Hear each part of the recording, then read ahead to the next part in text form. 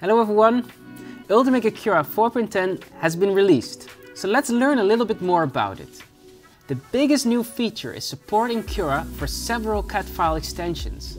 I'll talk about that in more detail in a moment, but for now, let's look at the other changes.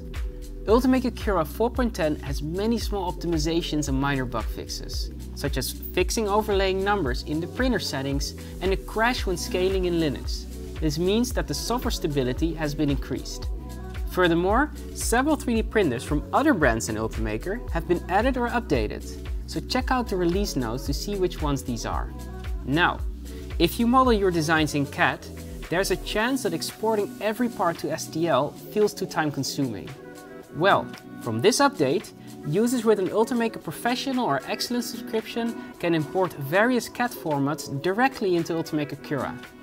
This is developed using the Dassault spatial technology and means that you can open files such as STEP, IGES, DXF or DWG. We've included support for parts and projects from applications such as Autodesk Revit and Inventor, Siemens NX and Parasolid, Solid Edge, SolidWorks, CATIA, Rhinoceros and Creo. And more could be added in the future. And yes, you heard that right.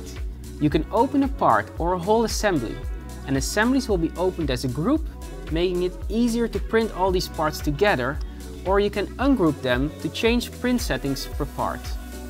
So this is a huge workflow boost for many of you out there. And as you can see, we've worked hard on native CAD import as so many of you have requested this. And as an Ultimaker professional or excellent subscriber, you can enable this feature by downloading the native CAD import plugin from the Ultimaker marketplace.